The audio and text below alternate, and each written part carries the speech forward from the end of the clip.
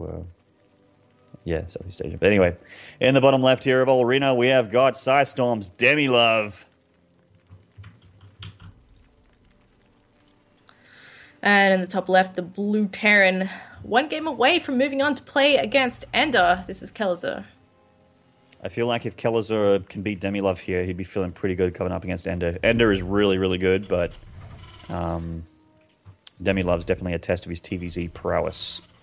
Mm. Been seeing a lot of uh, fans from Brazil in the chat. Actually, it's not that often that you see all the Brazilians come out of the woodwork.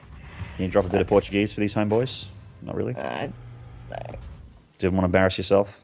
I know speak stand. Portuguese, man. No habla. No, only Spanish. Yeah, you habla a little bit Espanol. we got a little. We got the uh, the hatchery kind of all quite standard here from Demi, but with an earlier pull because it is Ulrena, and uh, I mean the rush distance on this map is shorter than Steppes of War. If you cast your mind back to that horrifyingly small map. this is uh, really I did not know that. Yeah, it's actually shorter Man. than Steppes. Pretty sure. Nice. Um, you take a very so very many games with Steppes. You take a very tight hallway to go through, which is dangerous for obviously like splash damage units and that sort of thing. But there's not that many splash damage units in the early game, but I guess the Reaper is now. But uh, uh, that that little corridor is a very, very, very short rush distance, and I'm just I'm surprised to see it come through because I wouldn't have thought that uh, Demi would want to play on this map considering Kelazhur's Reapers and his dislike of the Reaper. Hmm. That said, though, uh, Kelazhur is only making one and switching on to the reactor, so he's not actually going to be yeah. that many. I mean, to jump up into the. Oh, I guess the ramp's pretty wide. Never mind. It's, it's not the greatest Reaper map, I guess. Yeah, um, you're right. Yeah, because there's not an abusable. Like the north of the main actually has a big opening, so, uh, like a like a hole in the ground, so you can't really mess with the uh, with the terrain too much. So you're right. Yeah. It's not that good for Reapers. Demi's gonna be like mad on edge anyway. He's gonna be sitting there like, oh god, please not again, please not again. um, but he can breathe a sigh of relief as he's you know, there's no second or third Reaper coming across the map at the moment. He's getting his two Queens and his Roach Warren right, right away. And a Roach Warren could be worrying for Kelazhur. While Demi Demilove has done it every game, he's been locked in his base um, the previous couple, so... Yeah, it could be time for Demi to bring the fight to Kelazhur and give him some early game.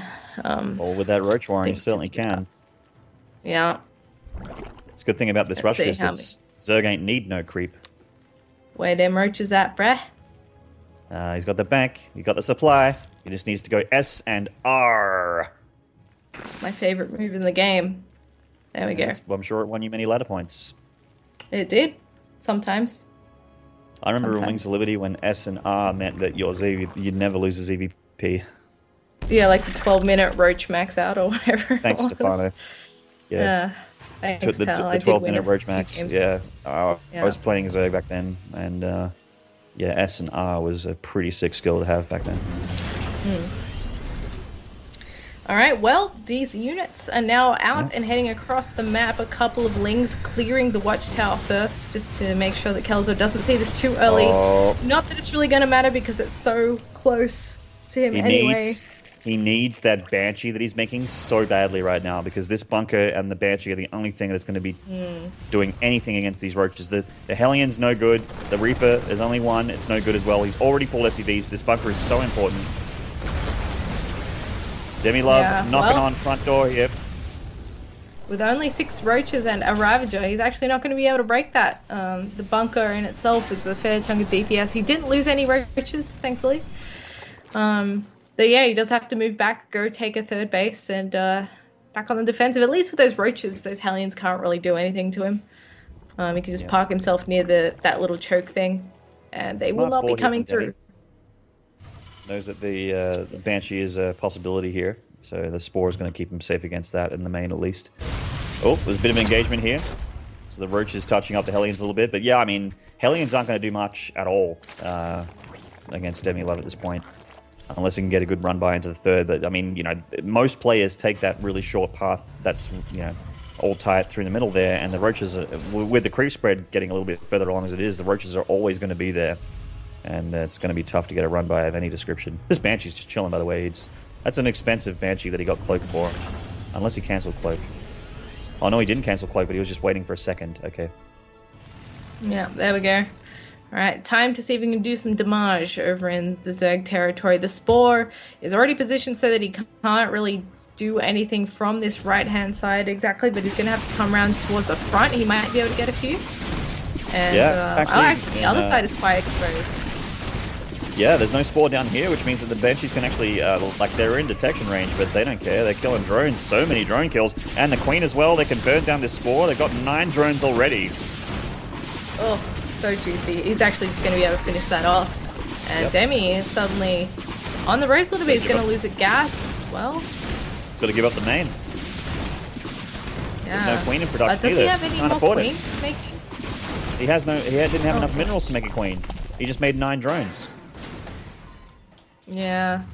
Well, it's all going to get a couple rallying across here as well. And now into the natural. There is a spot there, but there's always a spot. Look at that. He's, he's able to reach a couple of drones from back there even.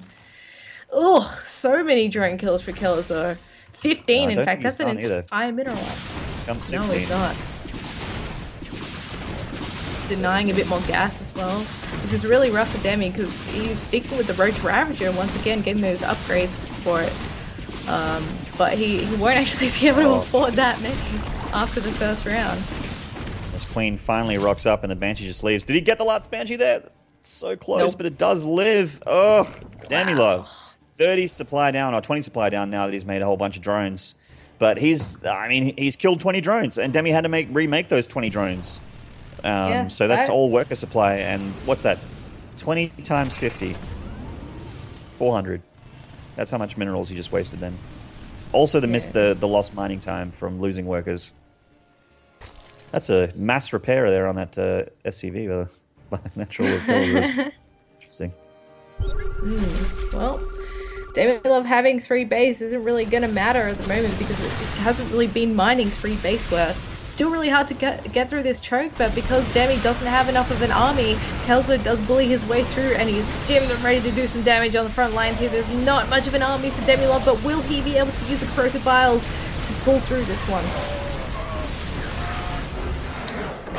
GG. Kelazhur taking it with a 3-1 there. Yeah, takes it to the three one, and that's uh, that's going to be Kelazhur moving on, and Demilove's run is unfortunately over for Demilove fans. There is still another TVZ in the works, though. We're going to have Kelazhur coming up against Ender as our next match. Yes, 20 times 50 is indeed 400. Well done, myself. Yeah. Never, ever, ever, ever, ever do maths live on stream. It's alright. I probably would have said like a thousand or something, going like, no, it's two times five. Oh, me her lost, to, lost snoot. snoot. We just got our update there. That's huge. Oh. Whoa. Well played, one Snoot. Less Damn. we have uh, Pilly, Pilly, and Snoot, and Andrew and Kells are coming up. I think, I'm not sure. We had a schedule, and I think we were supposed to do both of the losers' finals there. I don't know if that still stands or if Tempo will be doing one, but either way, don't worry, those will be casted. It'll be good. It'll be fun. I don't mind if he wants to have his own stream going and, and cast the same games as us, whatever he wants to do.